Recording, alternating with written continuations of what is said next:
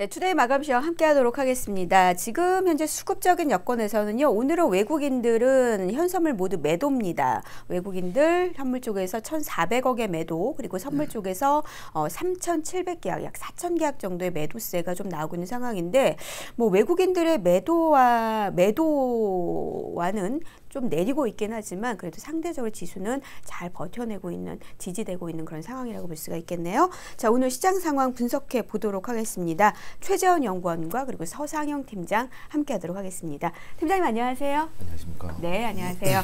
자 최재원 연구원님 안녕하세요. 네. 자 먼저 시장 상황부터 정리를 해볼까요? 네, 우선 오늘 이제 국내 증시는 어제 중국 상무부가 미국과의 단계적 관세를 철회할 수 있다라고 발표를 한 데 힘입어서 상승 출발을 했습니다. 어, 전날 그 중국 상무부는 지난 2주간 미국과의 그뭐 건설적인 토론을 했으며 이제 협상 진전에 따라 단계적으로 관세를 취소하기로 동의했다라고 발표를 했습니다. 그리고 또한 이제 1단계 합의에 이른다면 이제 관련 내용을 바탕으로 이제 단계적으로 관세를 취소해야 되면 이제 이것이 합의 달성의 중요한 전제 조건이다라는 이제 말을 덧붙이기도 했는데요. 이러한 점들이 이제 증시에는 이제 긍정적으로 반영이 됐지만 좀 이와 관련해서 어, 미국 측에서는 아직 뭐 공식적으로 합의 뭐 발표한 입장이 없다라는 이제 모습을 보이면서 어, 조금 이제 혼란 혼선을 주기도 했습니다. 어, 특히 이런 중국 상무부의 발표에도 불구하고 여전히 이제 그 미중 간의 무역 합의 일정 그리고 장소가 구체적으로 발표되지 않은 점 역시 어, 미중 간의 무역 협상 진전에 있어서 좀 불확실성 요인으로 작용을 했고 이러한 점들이 증시에 부담으로 작용을 하면서 음. 장 초반의 상승폭을 이제 축소하면서 바, 어, 하락 전환을 하기도 했습니다. 다만 우리나라 장중에 발표된 중국의 어, 10월 수출입 통계가 예상보다는 좀 어, 견조하게 발표된 것으로 로 보이자 중국 증시가 좀 더 상승폭을 확대하기도 했고 이러한 점들에 힘입어서 국내 증시는 이제 하락 폭이 이제 좀 조금은 유지되고 있는 모습입니다. 음, 네, 하락폭이 상대적으로 좀 크지는 않습니다. 어, 말씀을 드려 말씀을 좀 하셨지만 어, 중국의 10월의 수출입 동향이 그래도 생각보다는 양호했다라는 평가를 좀 받고 있는 것 같아요. 예, 알려주시죠. 네, 그 10월 중국의 이제 수출입 통계가 발표가 되었는데요. 시, 특히 이제 10월 수출이 전년 동월 대비 0.9% 감소하면서 3개월 연속 하락 추세를 보이긴 했지만 시장에서 예상했던 이제 마이너스 3.9% 감소할 것이라는 예상치보다는 좀 더 낮게 발표가 되면서 시장이 예상보다는 좀 이제 견조하게 발표가 됐습니다. 반면 이제 수입 역시 전년 동기 대비 마이너스 6.4% 줄어든 것으로 발표됐지만 시장 예측치였던 마이너스 8.9%보다는 좀 양호했고 이러한 결과 이제 10월 중국의 무역 수지가 428억 1천만 달러 흑자로 발표가 되면서 시장 예상치보다는 좀 더 흑자 폭이 크게 나타났습니다. 한편 이제 대미 수출의 경우에는 전년 동기와 대비해서 16% 감소하면서 3개월째 이제 두 자릿수의 감소세를 이어갔는데요. 다만 이제 그, 그, 결과 대미 흑자 역시 17% 감소한 것으로 나타나면서 미중 간의 무역 분쟁의 여파가 좀 나타나는 모습을 확인할 수 있었습니다. 다만 시장이 좀 우려했던 것보다는 견조한 흐름을 보인 것으로 어, 나타났고 최근 미중 간의 무역 협상에 대한 낙관적인 좀 기류들이 유입된 점을 감안하면 이제 중국의 경기도나 우려까지는 좀 불거지지 않으면서 시장에서는 뭐 다소 어, 그 긍정 뭐 긍정도 부정도 아닌 상태로 좀 반응을 한 것 같습니다. 음, 네, 알겠습니다. 일단 좀 흐름을 계속 두고 보는 그런 상황인 것 같습니다. 음, 좀 더 시장에 대해서 분석을 더 해보도록 하겠습니다. 어, 팀장님, 오늘은 좀 이슈에 대한 시장의 반응들이 어땠는지 좀 한번 정리해보는 게 좋을 것 같은데요. 예, 뭐 중간에 미, 중국 중국 얘기가 오늘은 계속 있었고 사이에 이제 미국에서 어, 이제 관세 철폐와 관련된 부분에 대한 어, 좀 얘기도 있었고 어, 그랬는데요. 아, 좀 정리를 해주시죠. 그러게요. 네. 해야죠. 아니 사실은 제가 왜이 말씀을 드리냐면 계속 어제부터 지금 시장에서 추가적으로 더 상승의 동력이 되려면 관세 철폐가 나와야 된다고 이제 딱 나왔어요. 물론 미국에서는 아니다라고 얘기는 했지만요. 네. 그래요? 네. 아니다라고 했어요? 어, 아직까지 결정된 상황과 합의된 거, 그러니까 얘기, 그러니까 논의된 건 없다라고 했잖아요. 나바로 국장이. 그래요? 네. 못 들었는데. 폭스 비즈니스에서 저한테 얘기 안. 해주던데. 친한 건 알고 있지만, 아, 그걸 빼먹다니. 예. 그러게 그 양반 책도 내가 샀는데. 나바로 국장이요? 옛날에 그 피터 거의 나바로 국장을? 예. 피터 나바로가 쓴 책 중에 유명한 책이 있어요. 그 뭐 그 뭐지 브라질에 비가 내리면 스타벅스를 아, 사라. 네, 네. 그거 피타나보로스. 어, 잠깐어요 예. 주식을 잘 아는 사람이에요. 어, 그래 그러면 그게 주식을 잘 아는데 이거를 어, 아니라고 얘기한 건 어떤 의미일까요? 아니라고 했다라기보다는 네. 어, 어제 그걸 잘 보시면 될 것 같습니다. 제가 오늘 데일리에도 그 얘기 썼던 요인이 뭐였냐면 일단 그거예요. 뭐냐면 중국의 상무부가 연내 회의 연내 조례 평가 그 기자회견에서 음. 무슨 얘기를 했냐면 1차 협상이 잘 진행되면 네. 그 다음에 어쩌고저쩌고 뭘 잘 진행되면 단계적으로 관세 철폐하는데 합의했다. 어, 그 옛날부터 합의했잖아요. 음, 아, 잘 진행되면 합의했잖아요. 아, 문제는 뭐냐면 네. 중국에 아니 중국이 그렇게 발표를 했잖아요. 근데 이 내용이 어제 처음 나온 걸까라고 생각을 해보면 최근 들어서 미국 증시가 사상 최고치 경신했던 그날 네. 얼마 전이었죠. 네.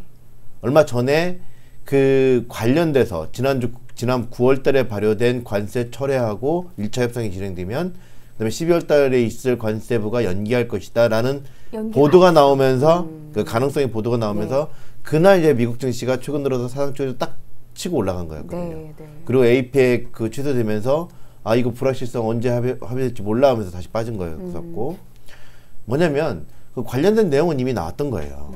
이 협상이 잘 진행되면 당연히 관세 일부 처리를 하겠죠. 음. 그래서 어제 미국 증시에서도 보면 그 효과로 인해서 상승 출발을 했어요. 근데 네, 막 네. 가다가 오후 들어서 갑자기 쑥 빠지는 요- 요인이 뭐였냐면 그거였습니다. 그러니까 그 미국 백악관 관계자가 어 그 합의한 거 맞아. 음, 어, 합의했죠. 합의했는데 잘 되면 관세 철폐를 하겠다라고 한 거잖아요. 음, 그죠? 음. 근데 또 일부에서는 아, 그, 그런 거 합의한 네, 적이 없다. 예. 그거는 뭐 때문에 그렇게 되냐면 시장에서 지금 생각하고 있는 것처럼 아, 그러면 이번에 그 9월 달에 한 거 처리하고 작년에 발효했던 거 뭐 나중에 또 처리하고 이런 식의 일정들이 합의가 됐을까라는 된 거 같구나라고 생각을 했던 아, 거였죠. 시장에서는요. 아, 예. 근데 이제 전체적으로 보면 그 양반들은 정치적인 수사죠. 네. 어, 정치적인 수사로. 예를 들어서 제가 예전에도 그 북한 관련된 내용을 얘기할 때 if 그러니까 야 너희들이 미제놈들이 우리 땅에 1cm만 들어오면 우리는 뭐 날리겠다. 이런 식의 뭔가 하면 이게 정치적인 네, 부분, 네. 외교적인 부분에서는 영 뭐 if라는 뭐뭐 하면 뭐뭐 하겠다라고 하는 거 있잖아요. 네, 네. 그것들은 무조건 다 신경 쓸 필요 없다. 음, 근데 이제 그걸 가지고 수- 뒤에 숨어져 있는 내용들을 잘 살펴봐야 되는 거죠.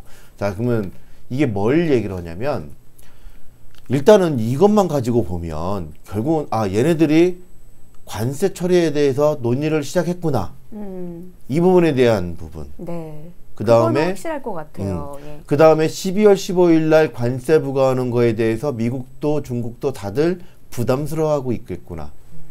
이거는 합리적이잖아요. 그렇죠. 예. 이제 그러면 연말 랠리에 대한 기대는 높아져 있는 상황인 거죠.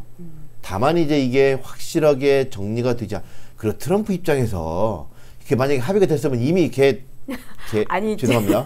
아니 제가 이 트럼프에 올렸겠죠. 나, 그 얘기가 거기서 가장 흥미로웠던 게 뭐냐면요. 이것을 결정할 수 있는 사람은 오로지 트럼프 대통령이다. 그렇게 그렇죠. 얘기가 나왔고, 아, 그러면은 트위터를 보는 게 낫겠구나. 이 얘기가 확실하게 된다면. 그래서 그 내용이 네. 나왔을 때 트럼프는 별로 내용이 없었고 아, 사상 초치 즐겨라 인저이 하고 말았잖아요. 네.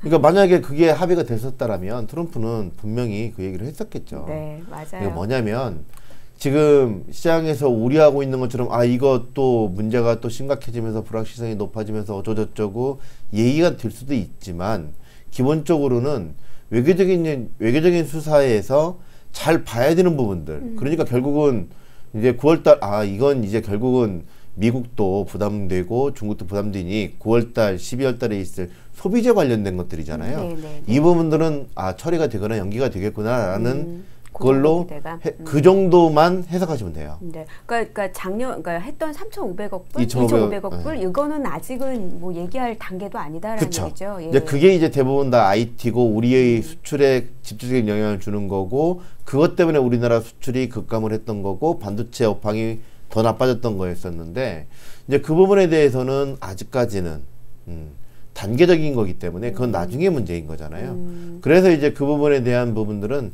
일단은 우리나라 주 심리적으로는 어 오케이 음. 긍정적이긴 한데 중요한 건 아 이게 끝이 아니구나라는 음. 것들을 다시 부각시킨 거죠. 그래서 상승을 했다가 일단 그와 관련된 기대 때문에 이미 많은 부분들이 올라왔어요 네. 주식시장이. 그러니까 그 1차 합의가 된 10월 중순 이후에 우리나라 주식시장이 5% 이상 올랐고요.